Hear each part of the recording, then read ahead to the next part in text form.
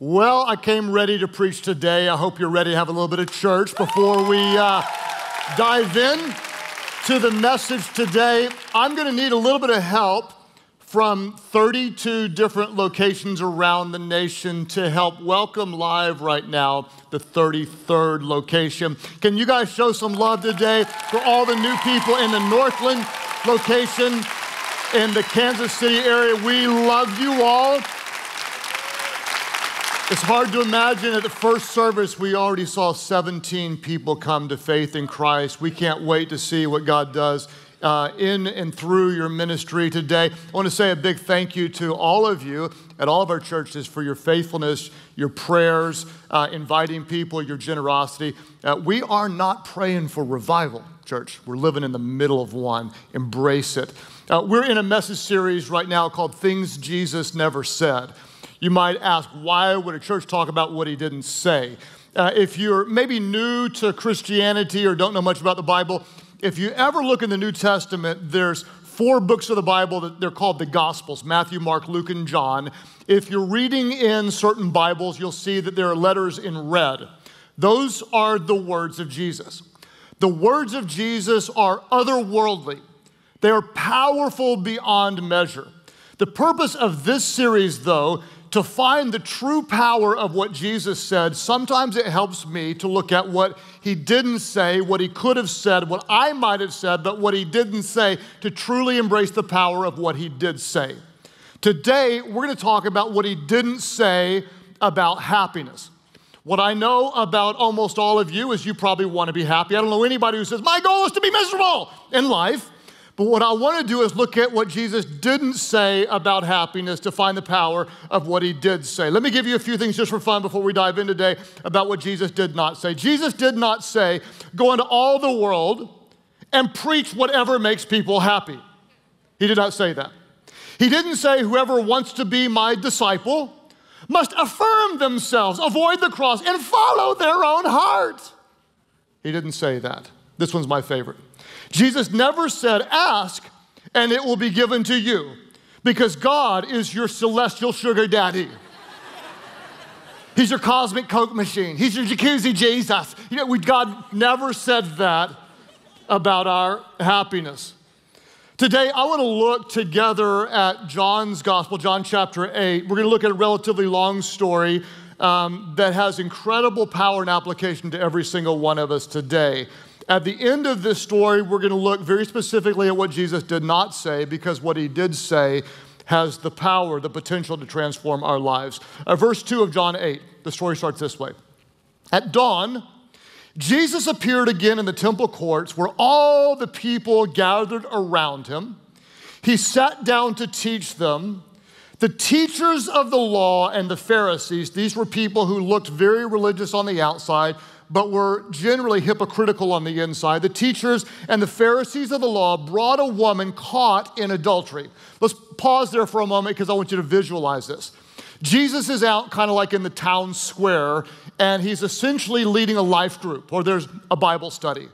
Then some hypocritical religious men drag a woman that was caught in the act of adultery. There's a couple things, if we had more time, we'd talk about. One is where was the man in the story, who's obviously left out of the story? Secondly, what were you peeping at when you found a woman caught in adultery? That's a whole nother deal going on here. But nonetheless, these guys bring a woman caught in the act of adultery, and you can imagine if she was caught in the act, chances are very good that she was barely dressed this would have been the lowest, most humiliating moment of her life. What's interesting is the men didn't care about her, they were just using her as a tool to get at Jesus, and you can see that in the upcoming part of the story.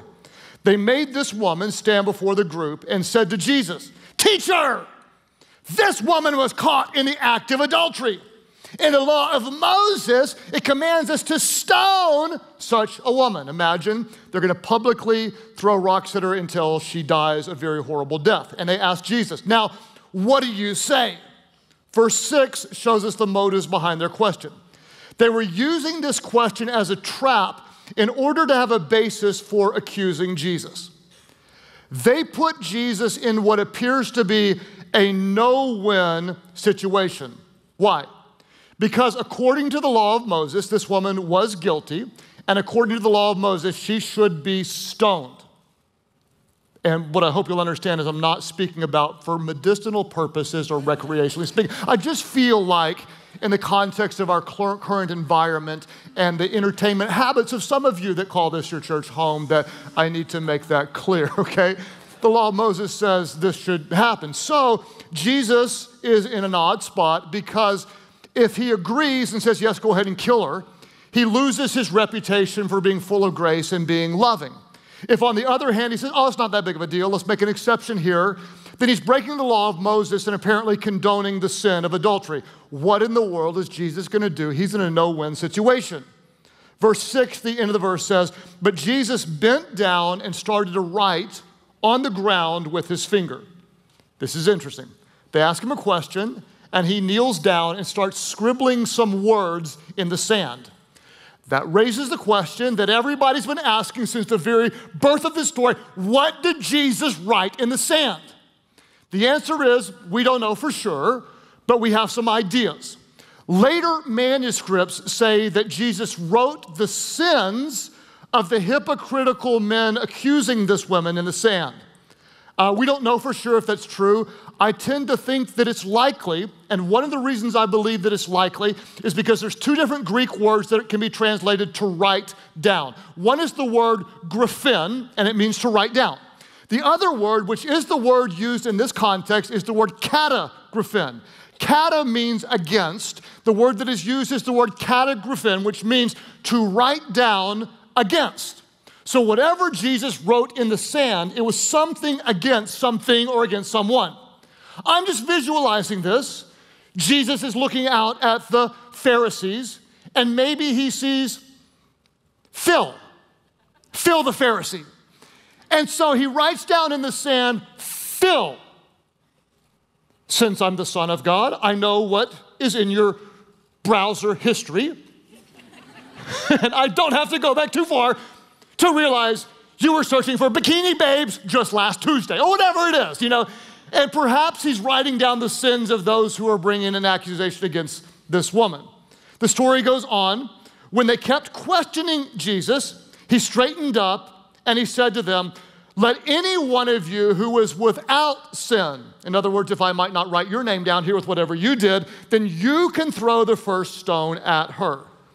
What's interesting to me, again in the original language, when it says without sin, it doesn't just mean whoever's without sin, but the Greek word also means not just without sin, but not only did you not sin, but you also didn't even want to sin. It means literally without even wanting to. Because I don't know about you, but there's been a lot of times where I didn't do it, but there was a part of me that wanted to. Is that too real? It's also true that I'm really, really good at finding your sins and pretty good at covering my own up.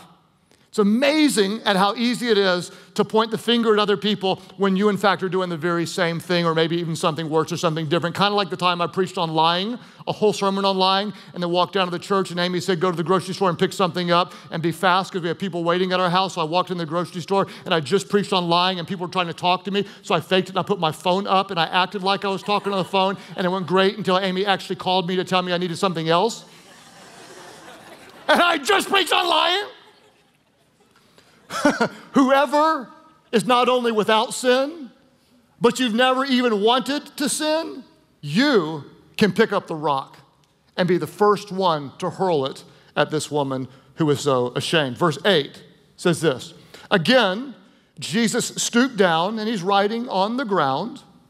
At this, those who heard began to go away one at a time Phil left first. I just added that part in, okay?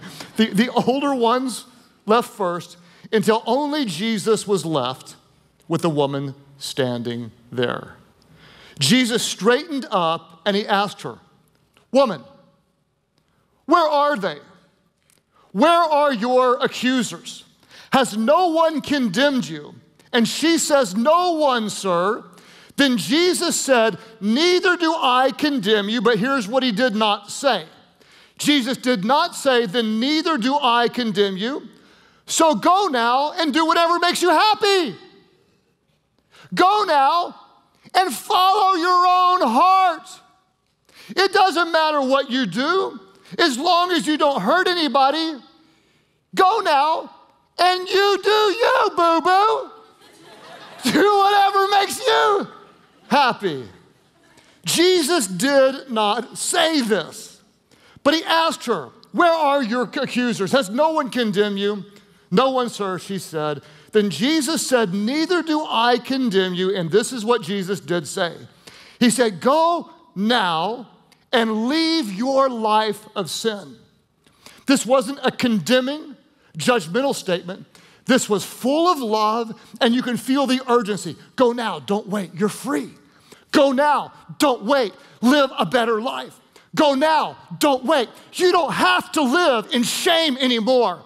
You don't have to live for the lower things of this world. You don't have to be afraid or live in darkness. I've set you free. Go now and be free from your life of sin. It's full of love and full of grace. You don't have to be held hostage anymore. You're free to go and walk in truth. Why is it that so many of us, including me, give in to temptation so often? Why is it? The answer is it looks appealing, right? It looks fun.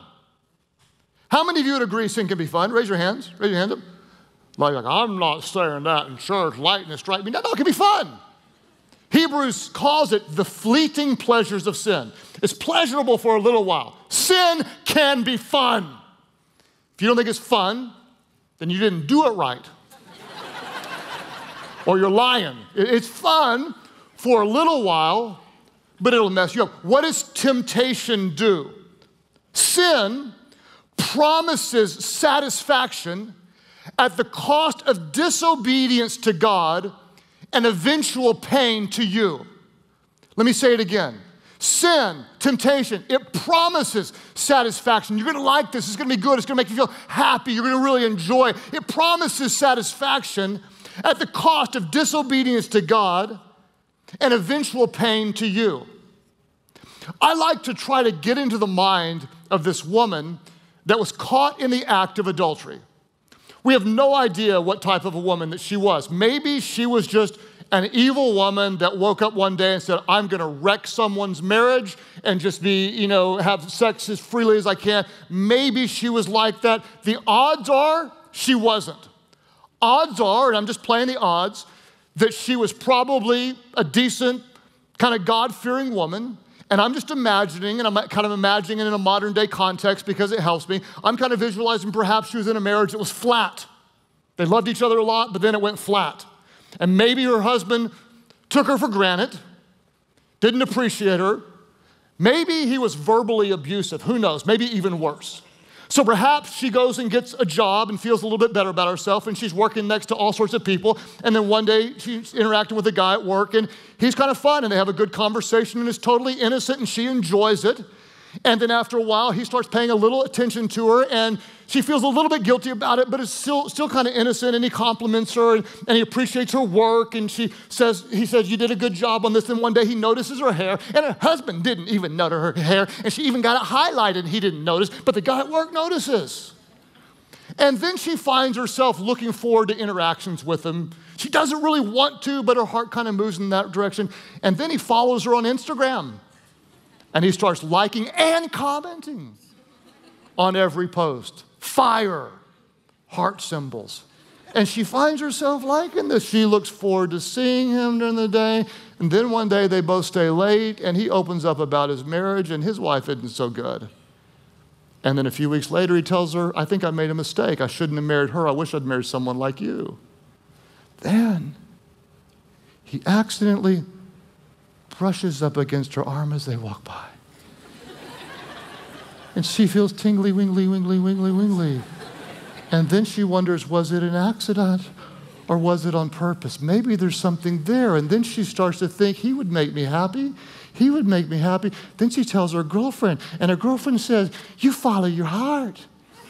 You do whatever makes you happy. You do you, baby. we don't know how it happened, but it could have been like that.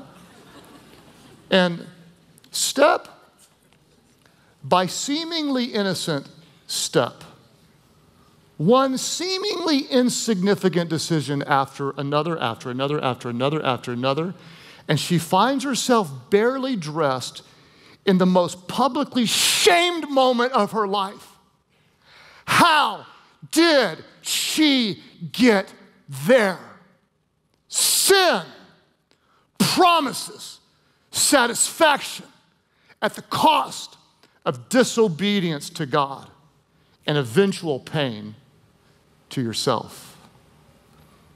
Why do so many of us end up in similar places today? We live in a very relativistic culture. What does the idea of relativism mean? Relativism is the belief that everything is relative. In other words, there's no absolute truth. You'll hear this all the time in culture today. Well, that may be true to you, but that's not true to me.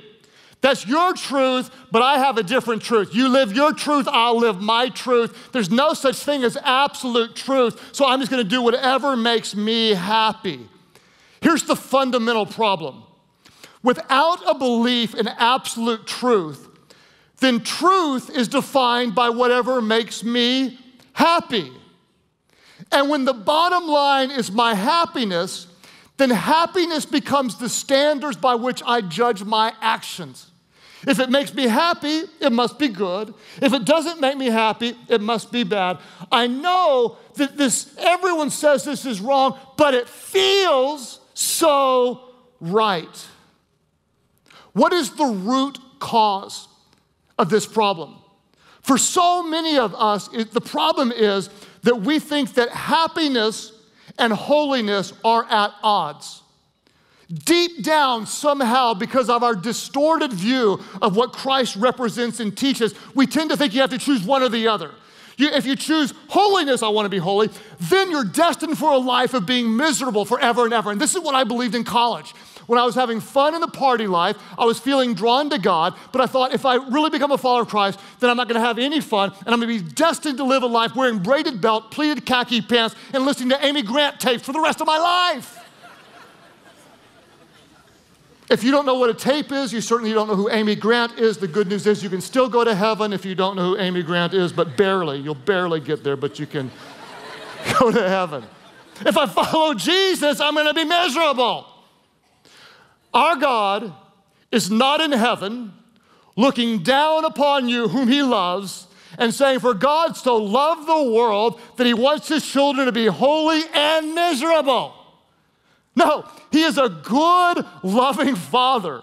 In fact, Jesus said this about him. He said, If you then, who are evil, know how to give good gifts to your children, how many of you love to spoil and bless your children, have them be happy? How much more will your Father in heaven give good gifts to those who ask him? If we find ourselves at odds with, I want to be holy, but I don't want to be unhappy, the problem is you're looking for a happiness in the wrong place. You're looking at a lower place when God designed you for a higher place. In fact, Max Lucado tells a great illustration. I'm gonna make it my own, so if you don't like it, blame me, not Max. But Max asked the question Would a fish ever be happy on the beach? Visualize it. You take a fish out of water, put a fish on the beach, answer the question Is the fish on the beach happy? Answer no. What's the fish doing? What's he doing? What's the fish doing? The fish is flopping. I, am not going to try it, I might fall, but he's flopping. So imagine we give the fish some things from this world to help the fish feel happy. We give the fish a pile of cash. It's raining Benjis, baby. It's raining Benjamins. Is the fish now happy? And the answer is no. What if instead we throw a party for the fish? We get all the best looking fish out of the sea and we put them there together and we give them some cool beats so the fish can plop, plop, plop to the beat and they're all dying. Is the fish happy now? No. What if we give them some margaritas, a little Mai Tai, still not happy? What if the fish takes a selfie? It gets a record number of likes. Not hashtag FitBod, hashtag FishBod. Everybody goes crazy. Ooh, you look so good. Ooh, fire, fire. Ooh, you hot, you hot, you hot. Is the fish happy? No. What if you get the fish a Playboy, a, a Playfish magazine? Look at that tail on that fish, okay? Is the fish, the answer is the fish is never happy. Why? Because the fish was not created for the beach. If you find yourself wondering why you aren't happy living for the things of this world, maybe you should lower your expectations of earth because you were not created for the earth. You were created by God, for God, to live for things that are not of this world. And that's why sin promises and never delivers. It promises satisfaction at the cost of disobedience to God and eventual pain to you. What do we need to understand? This is so important. Holiness isn't mutually exclusive of happiness. In fact, they are very, very related. Holiness, in fact, is the pathway to true happiness and joy. Let me say it again. They're not mutually exclusive. They are united. They are connected, serving God, living for Him, not for the lower things of this world, but for the higher things that are eternal. That is the pathway to true meaning in life. I love the way David said it in Psalm 16, verse 11. He said, You, God, will make known to me the path of life. Your presence, in your presence, is the fullness of joy. In your right hand, there are pleasures forever. Not the fleeting pleasures of sin, but the eternal pleasures. And that's why when the woman who was guilty as we are guilty was caught in the most shame filled moment of her life, Jesus didn't look at her and say, I'm embarrassed by your behavior. After all I've done for you, that's the way you choose to live? You're pathetic. What Jesus said is there's something so much better. Be free. Go walk in truth. Go now. Leave the lower things of this sin filled world and live for the things that really, really matter in life. What do you do when you know what's right? But you keep doing what's wrong? What do you do when you feel trapped? It looked good, it promised something, but it didn't deliver, and now you can't find your way out. For me, it was in college when, just like so many people on both sides of my family, who had ongoing battles with alcohol, I found that I too was vulnerable to alcoholism. I drank my brains out, wasn't a Christian, and my non Christian fraternity brothers said, Groeschel, you got to dial it back. Uh, I had a night that almost cost me way more than I intended to pay. Um, I beer bonged six beers as a warm up. I remember that. I remember drinking a little bottle of Seagram 7. Why I remember that, I don't know, but I do. And then we went out partying. Um, midway into the evening, my brothers said, You're out of line, you're out of control. And they delivered me back to my room and they said, Game over, you stay home. I remember thinking two more things. I remember thinking, Nope, night's young. I'm running to the nearest girl's dorm. There's still a potential for something to go down tonight. That's what I remember thinking. And then I remember running full speed, because that's sometimes what you do when you're drunken in college running full speed toward the girls' dorm. And the last thing I remember, and I, I, I promise you I remember like it was yesterday, I remember thinking, this is so cool.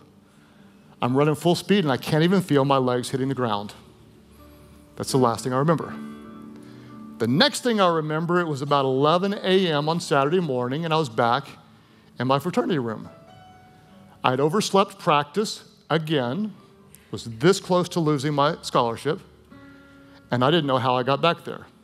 I found out that I'd passed out on the side of the road with my head hanging over the curb on a very, very busy street.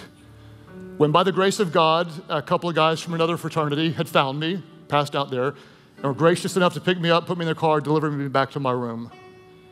And I woke up about to lose my scholarship, could have lost my life, about to lose everything. And so, what did I do? I did the only sensible thing, and as I opened up another beer.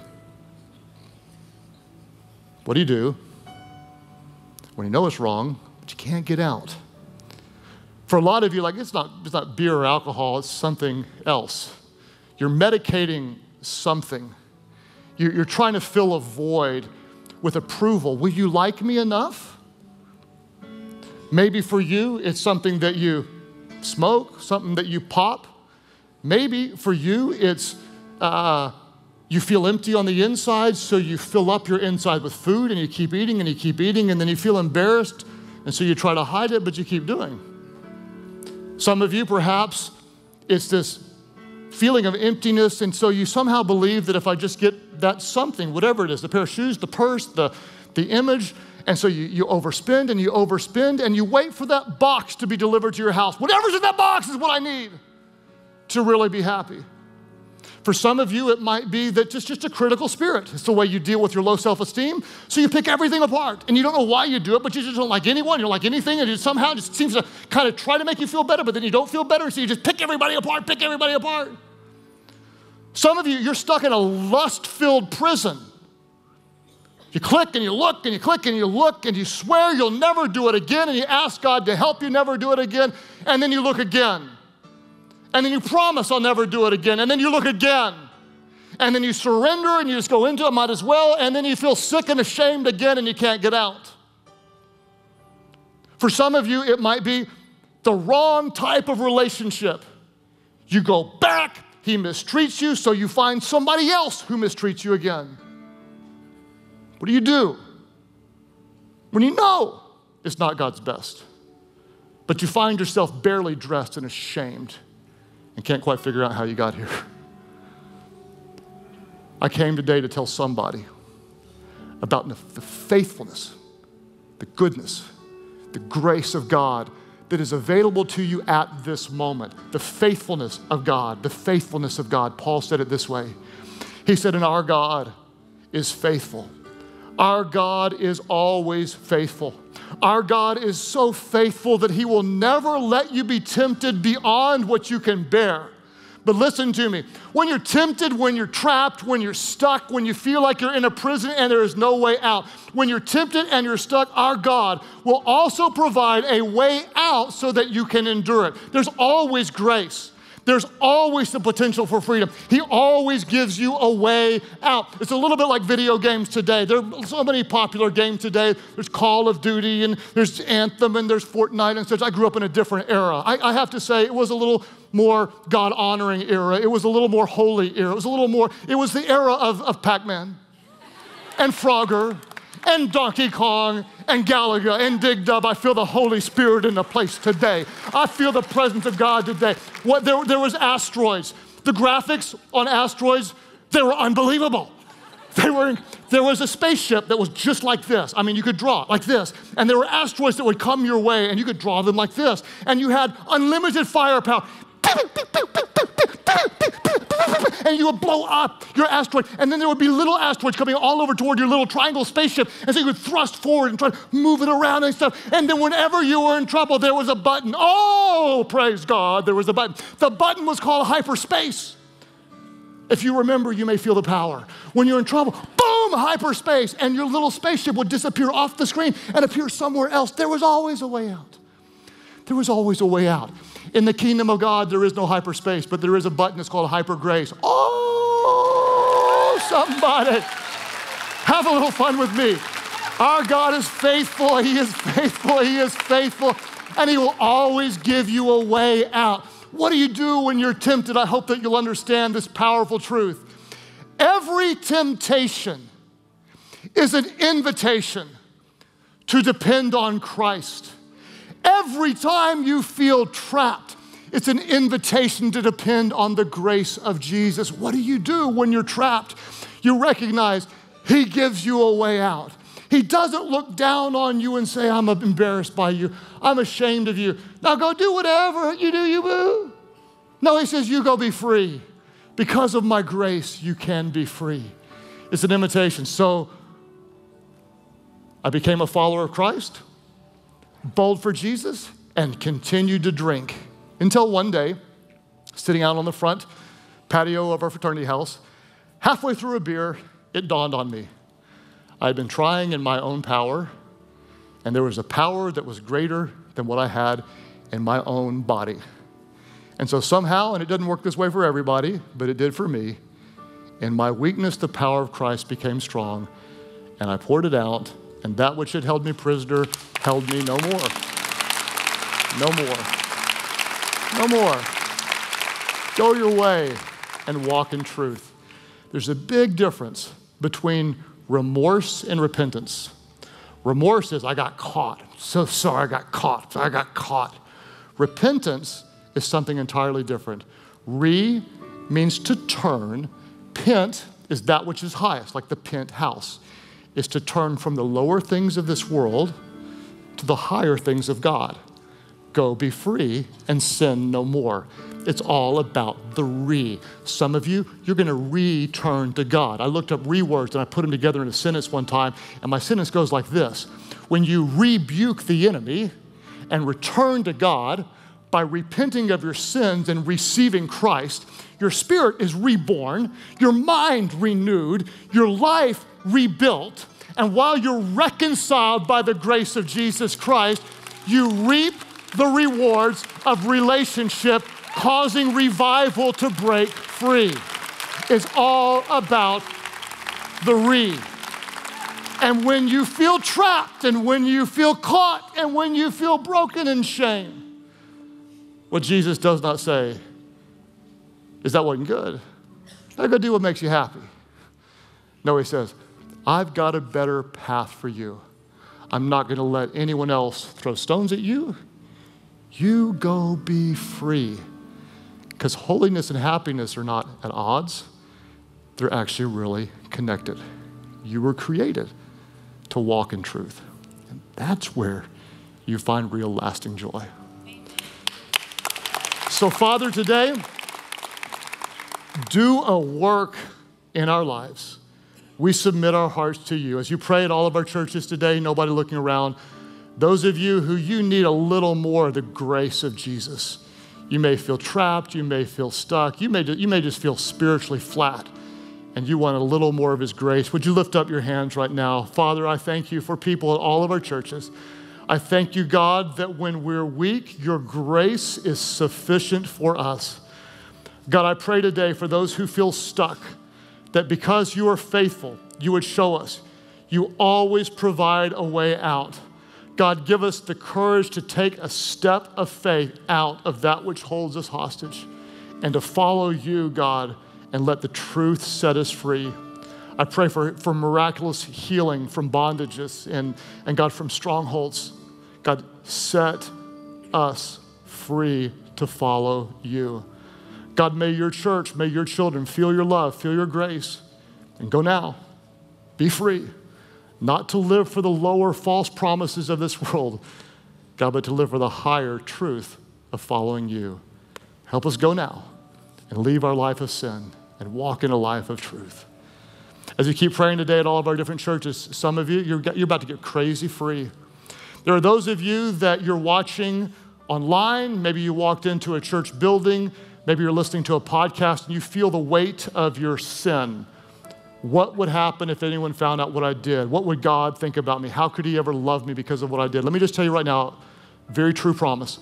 God loves you, period, period, period, period. There's nothing you can do to make Him love you more, nothing you can do to make Him love you less. He loves you because that's what He is. He is love. He loves you. God so loved you. What did He do? He sent His one and only Son, Jesus. Who is Jesus?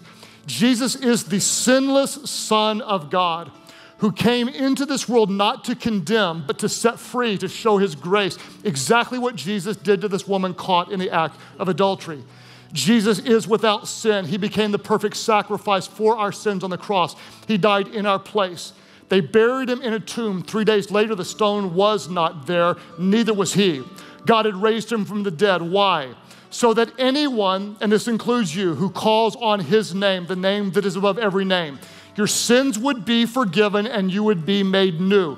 New, forgiven, whole, complete, spiritually healed because of the grace of Jesus. At all of our churches, if you're under the weight, the burden, don't feel bad about it. That's remorse. Repent.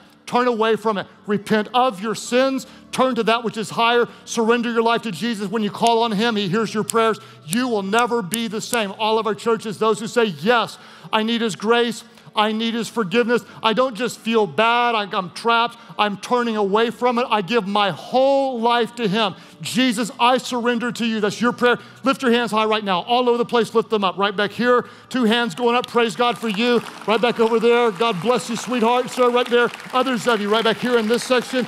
Right back over there, both of you. Praise God for you. Others of you. Over here on this side. Somebody ought to worship a little bit more today. Others today. Right back over here. Man, thank God for you. Church online, you guys just click below me. Would you all just stand to your feet together right now? Stand to your feet. In, in this middle section, don't want to leave you out as well. Stand to your feet. We're going to pray together. Would all of you just join your voices as we unite, praying and celebrating new life in Christ? Pray, Heavenly Father, I give you my life. Forgive all my sins. Make me new. Fill me with your spirit so I could walk in truth, follow your ways, and share your love. My life is not my own. I give it all to you. Thank you for new life. Now you have mine. In Jesus' name I pray. Somebody shout, somebody cheer, somebody welcome those born into God's family.